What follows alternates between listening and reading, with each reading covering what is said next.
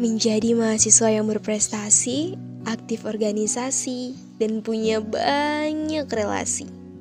Ya, bisa mendapatkan semua itu adalah suatu keberuntungan. Keberuntungan yang pastinya tidak lepas dari perjuangan. Berada di titik ini mengingatkanku pada kejadian dua tahun yang lalu.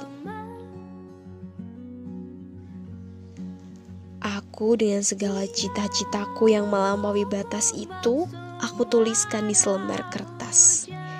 Dengan menghakimi bahwa satu-satunya jalan untuk mencapainya adalah dengan kuliah di perguruan tinggi negeri.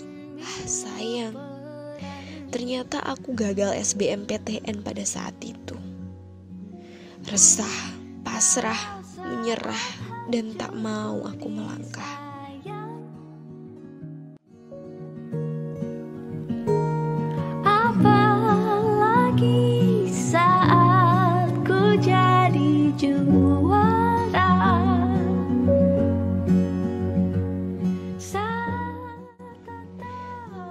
Tapi selalu ada yang menenangkan di sela-sela kepanikan.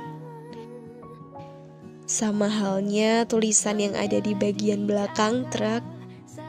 Restu ibu itu nomor satu. Universitas Muria Kudus. Kampus rekomendasi mama karena deket dari rumah. Eh ternyata salah. Bukan cuma deket dari rumah di kampus ini juga deket sama cita-citaku yang melampaui batas tadi. Lucu ya, jadi nyesel pernah membuang selembar kertas impian cuma karena gagal SBMPTN. Padahal menjadi mahasiswa semester 4 di Prodi Bimbingan dan Konseling Universitas Muria Kudus adalah jalan terbaik yang sudah disiapkan Tuhan untukku aku ingin menuliskan surat untuk Mama. Ma, terima kasih sudah memberikan jalan setelah adanya kegagalan. Semoga Mama bangga atas pencapaianku saat ini. Aku akan selalu ingat pesan Mama.